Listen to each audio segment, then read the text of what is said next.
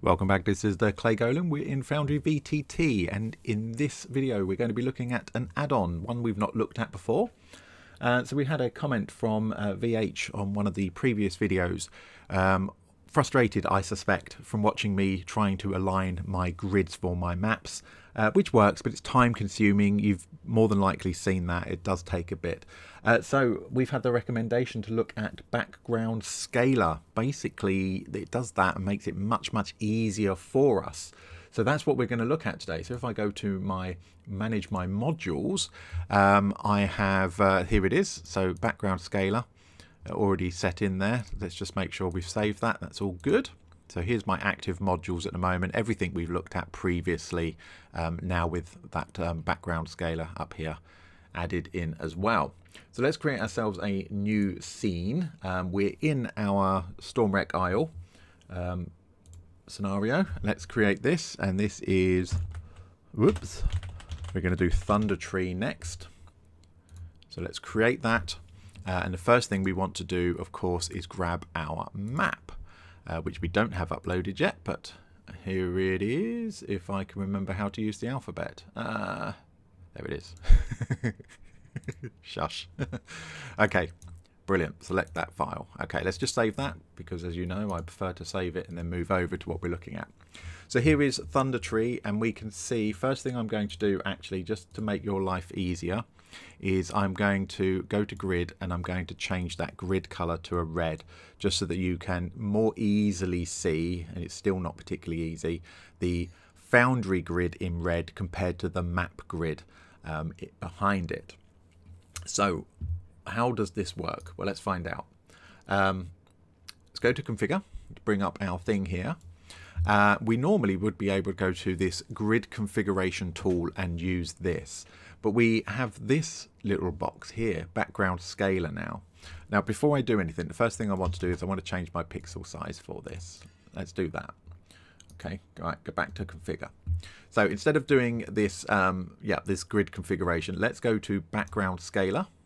And look what it's done. It brings up that grid for us makes it much easier for you to see. Now, got a little pop-up here that says uh, zoom in a lot to be very accurate with your click. Click a top left corner of a grid square on the image. So we're scrolling as far as we can. I think trying to be really precise with this, there, and then click the bottom right corner of the same grid square. So I'm not picking the red ones, this is actually the ones on the map, there. Okay. Right click to apply this grid. Um, top left corner of the grid square in the image if you'd like to retry. So, ignoring the very light ones. Oh, look. Okay. So here it looks perfect. Over here, we're misaligned. So I haven't done it particularly well. That's not a surprise, is it? Let's try that again. Okay. So again, it's a bit tricky when you're using a slightly blurred image. We try that again. There. It's readjusted it. Um, and again, we're not quite right. So looking at the bottom right corner, you can see that my grid squares are slightly too big. Let's try again. So we can just keep doing this. and I strongly suspect that the ooh that one looks good. Um, the um, the clearer the grid lines on the map, um, the easier this is. Now just scrolling out, that looks pretty much perfect to me. We've got so immediate top right. It's a big map this one, which is why I chose it for this. We can see we're slightly aligned at the top right here. You can see we're slightly aligned, misaligned and at the top left we're slightly misaligned. But overall, that's pretty good, and I'm happy to say it's good enough. Okay, so it says right click to apply.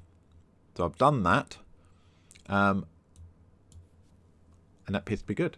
Let's uh, save changes, and we can look in slightly more detail. So the top right here, I mean that's that's pretty good, isn't it? I mean you're not really going to notice if you put tokens on there. And if we go to the other extreme, so the further we go away from one point to another, we will see how inaccurate it is. Um, and that's pretty good down there as well. So again, let's just drop a, uh, it's going to be Haley. It's always Haley, isn't it? If we drop Haley down here, because I've got lighting on. Uh, she's fitting in that grid as good as I could want it to. Let's move her all the way over here. Somebody mentioned about another mod. Haley's moving very slowly. There's another mod that somebody suggested that will uh, enable us to set that token speed a bit better. Okay, so when we look up this, I've gone off the map. No wonder she can't see anything. Come on. So on this extreme end of the map, it's close enough, isn't it? So that was, I mean, even though I had to do it a couple of times on this map, it's a big map, um, so I had to do it a few times just to get it right. It was an awful lot quicker, an awful lot quicker than doing it using the other uh, the other method. As you you know, you watch me scroll in, scroll out, adjust it left, adjust it right. So that is background scaler. Uh, so thank you to VH for that recommendation. That will make our life easier moving forward. It doesn't affect our gameplay. It's purely to help us align these things. Anything that saves us time means we can focus on detail of what's happening um, rather than you know some of the basic setup stuff. So really appreciate that. Now one last thing I want to do before I uh, bring this video to a close is I just want to get rid of that grid so uh, I haven't got the red one overlaid. Um, perfect. In the next video, we'll be coming back to Thunder Tree um, and starting to fill this out. Um, we haven't got to spend time doing this now. Brilliant. Thank you very much. Take care.